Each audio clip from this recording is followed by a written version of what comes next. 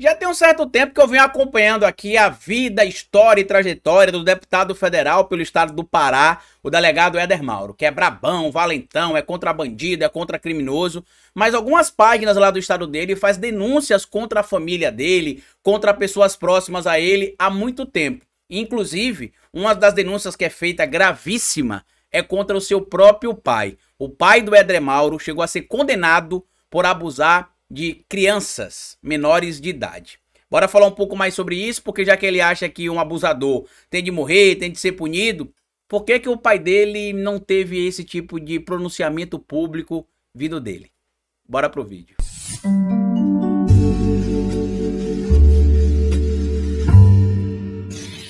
Pois bem, meu povo, antes de seguir esse vídeo, eu queria pedir a você que deixasse like no começo do vídeo, porque se deixar lá pro final você esquece. E queria pedir a você também, se puder colaborar com o nosso trabalho, que seja membro do canal, apoiador. É uma maneira que você tem de manter o nosso canal existindo aqui de forma independente. Inclusive, lembra vocês que quando batermos aqui mil membros, ou a nossa meta do Apoia-se, eu vou começar a divulgar um curso por mês para vocês, membros e apoiadores do canal, por 12 meses. Mas caso você queira colaborar é, pontualmente, com uma doação apenas ou algo do tipo, tá aí o nosso Pix. Você pode colaborar quando quiser, com quanto puder e se quiser também. Eu quero falar com vocês sobre este deputado aqui, o Edemauro, que tem criado problema com frequência dentro do Congresso Nacional, em comissões importantes ali, tá? Ele com a peruquinha dele aqui, né, falsa, mal feita, sei lá como vocês queiram falar. O pessoal até brinca, chama ele de deputado peruquinha. Ele com frequência cria problema. Alguns dias atrás, inclusive, viralizou um vídeo dele porque ele falou exatamente isso que vocês vão ver e ouvir aqui sobre a falecida vereadora Marielle Franco. Eu falei, eu falei.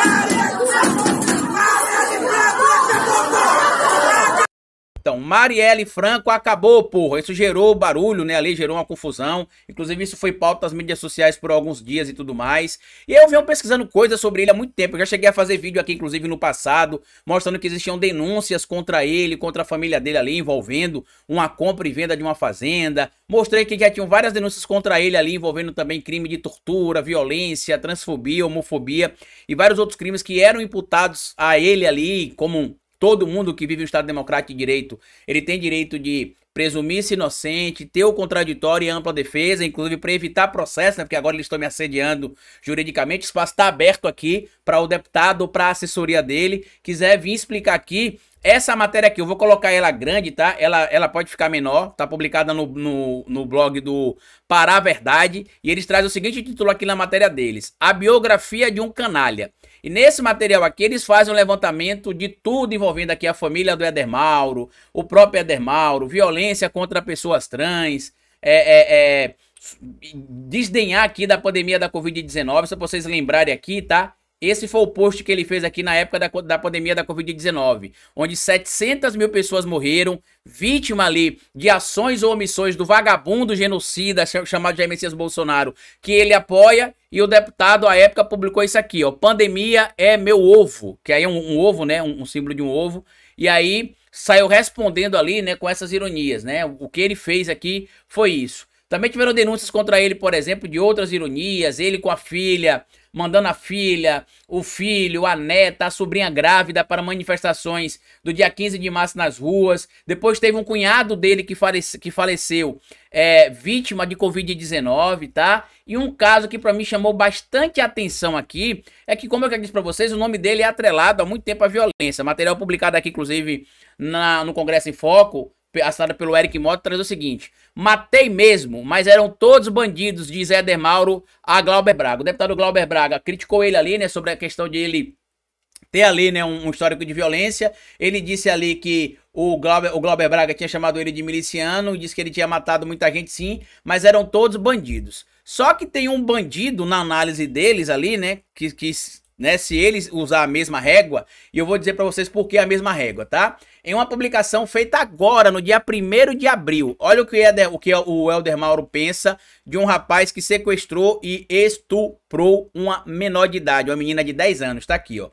Menina de 10 anos sequestrada e estuprada e morta por golpes de marreta por um bandido já condenado por crime de estupro, mas que estava cumprindo pena na rua. Bandido bom é bandido na cadeira elétrica. E aí eu queria saber o que é que ele tem a me dizer desse indivíduo aqui, que segundo o entendimento ali da própria justiça, seria um bandido, né? Já que foi condenado, tá? Ele já é falecido, o pai do Éder Mauro, certo? O Vivaldo de Jesus Barra, e ele foi condenado por abusar de uma criança de 11 anos de idade. Inclusive, tem um, um, outro bolsonarista do Pará, muito conhecido, chamado Vlad Costa, que fez uma live, acho que há uns 3 anos atrás, 4 anos atrás, contando muitas coisas sobre a família do Éder Mauro, o Éder Mauro, o filho do Éder Mauro, que já teve ligação lá com, com a Secretaria de Segurança Pública, se não me faz, se não, se não me engano, era com o Detran, algo do tipo assim, mas eu recomendo que vocês assistam esse vídeo, porque é bolsonarista denunciando o bolsonarista, não sou eu, tá?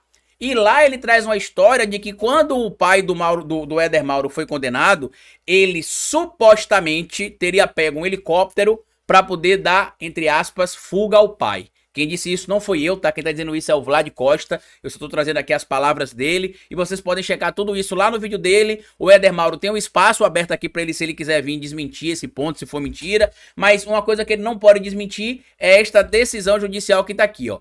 Pai de Edemauro condenado por estupro de vulnerável. O curioso, o curioso da história é que Vivaldo nunca cumpriu um dia sequer de pena, sendo, pre, é, sendo presa pelo crime Patrícia de Oliveira, que era a mãe da vítima. E aí vamos ler aqui, tá? Sentença condenatória de estupro de vulnerável, Vivaldo de Jesus Barra, e aí tem o um nome ali, né, ilustre representante, brasileiro, casado, tem ali o endereço onde ele vivia e tudo mais, e aí tá aqui, ó, é, é, ele passa por um procedimento criminal investigativo que a menor, e aí tem o nome da menor que eu não vou citar aqui, então com 11 anos de idade, filha da condenada Patrícia de Oliveira, era induzida pela própria mãe, aí sozinha na casa de Vivaldo Barra, localizada, e tem o endereço ali, próximo do quartel do Corpo de Bombeiros sobre o pretexto de apanhar alimentos e que a acusada, a meretriz assumida, era bem ciente das interações libidinosas de Vivaldo em prejuízo da integridade sexual da filha e utilizava a menor como moeda de troca, é, obtendo de Vivaldo Barras, também seu cliente, gêneros alimentícios em troca da satisfação da lascívia sexual com a filha. No primeiro semestre, os autos constam julgamento procedente, o pedido formulado a denúncia para condenar o réu Vivaldo Jesus Barra, anteriormente qualificado como incurso nas sanções previstas. Ele faleceu, né? Não, não cumpriu nenhum dia, até onde eu tenho informação, ele já é falecido, não cumpriu nenhum dia dessa sentença. Nesta matéria que está divulgada aqui no Pará, verdade, vocês podem ler a decisão completa. Eu botei em página maior aqui, porque tem alguns dados pessoais, então eu não quero que vocês acessem esses dados pessoais para evitar algum tipo de problema. Mas aqui tem denúncia de esquema aqui envolvendo pessoas da família dele que supostamente foram nomeadas para alguns cargos e não teriam ali tido, não, não teriam comparecido um dia sequer para trabalhar, né? Funcionários supostamente fantasmas que fariam parte do gabinete dele ali. Tá tudo aqui nesta matéria que eu vou deixar para vocês ou pelo comentário fixo. E por que, que eu tô trazendo isso para vocês aqui do Éder Mauro? Porque o Éder Mauro é o reflexo do que é o bolsonarismo. A narrativa de que bandido bom é bandido morto, bandido bom é bandido na cadeira elétrica é boa quando o indivíduo que é tido como bandido não é seu parente. O irmão do Éder Mauro, inclusive, chegou até o nome, a ter o um nome envolvido ali em investigações em suposta fraude é, é, no auxílio defeso, né? E outras denúncias que foram feitas contra ele ali. Ele teve o direito de se manifestar legalmente, né? Tá lá tentando provar, já provou se ele é culpado ou inocente. Mas enfim, só para mostrar para vocês como é que funciona o universo dos bolsonaristas. Denúncias como estas aqui do Eder Mauro, eu tenho várias outras. Eu poderia mostrar mais coisas que tem nessa matéria aqui, mas lamentavelmente eu fui processado por um deputado bolsonarista da região, né, mais ao, abaixo do Brasil, mais ao centro-oeste ali, né, e, e mais a, a, ao sul também, dependendo de como é que você. que, que eu possa dizer aqui para não ficar tão claro quem é a pessoa. E eu fui condenado por, porque o magistrado entendeu que eu cometi infração legal por ter faltado uma audiência que eu nem fui notificado para audiência. Só para vocês terem noção de como é que está funcionando, funcionando parte do judiciário brasileiro, contaminado pelos ideais bolsonaristas barra olavistas, porque uma das estratégias que o Olavo de Carvalho apresentava era que esses indivíduos deveriam se infiltrar sim nessas instituições. Aí agora eu queria saber do Éder Mauro se ele pensa a mesma coisa, né? Teve tem entrevistas dele dizendo ali, inclusive, que ele uma vez aconteceu uma situação grave com a sobrinha dele, se não me falha a memória. Ele disse também que o indivíduo deveria morrer, ser esquartejado, isso e aquilo. Eu queria saber o que é que ele pensa, o que é que deveria acontecer com o pai dele, né? O Éder Mauro, que é esse, esse cara que a gente mostrou, né? Brabão, acabou, porra, na coisa da Marielle acabou, né? Olha lá, o Marielle acabou, acabou porra. Dessa postagem aqui também, que ele disse que bandido bom é bandido na cadeira elétrica. Eu queria que ele me explicasse o que é que ele faria com esse indivíduo aqui, que de acordo com a condenação, supostamente seria bandido, né? Qual, qual destino, Éder Mauro, que que você traria ali para o senhor Vivaldo de Jesus Barra, caso ele pudesse cumprir ali ainda a sua sentença criminal? Qual destino você traria para ele? Cadeira de roda ou cadeira elétrica, empalamento, fuzilamento, qual o destino? Vamos ver até onde vai a, a, a, narrativa de vocês. Se a história do bandido bom é bandido morto é para todo mundo, ou quando o suposto bandido é próximo a nós, essa narrativa fica aí por terra, tá? Eu vou deixar para vocês a matéria para vocês poderem ler lá completa. É muito interessante a matéria, tem muita coisa aqui.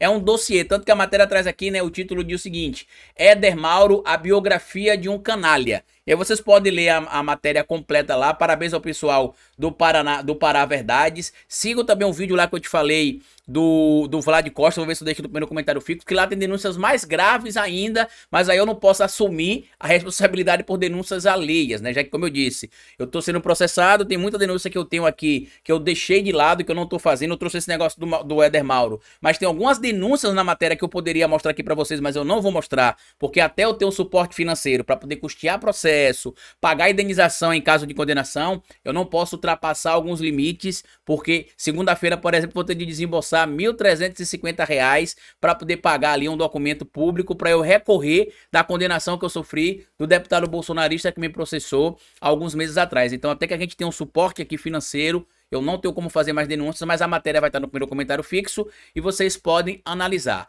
Bandido bom é bandido morto, estuprador é uma aberração, mas quando esse indivíduo que é acusado de ser estuprador é nosso pai, como é que a gente enxerga isso? Né, Eder Mauro? Compartilhe o vídeo, se inscreva no canal, deixa like, me siga nas plataformas digitais. Tudo que eu falei para vocês vai estar fixado no primeiro comentário fixo. E como eu sempre digo para vocês aqui no final de cada vídeo, é melhor escrever errada a coisa certa do que escrever certo a coisa errada. Patativa do Assaré. Até nosso próximo vídeo.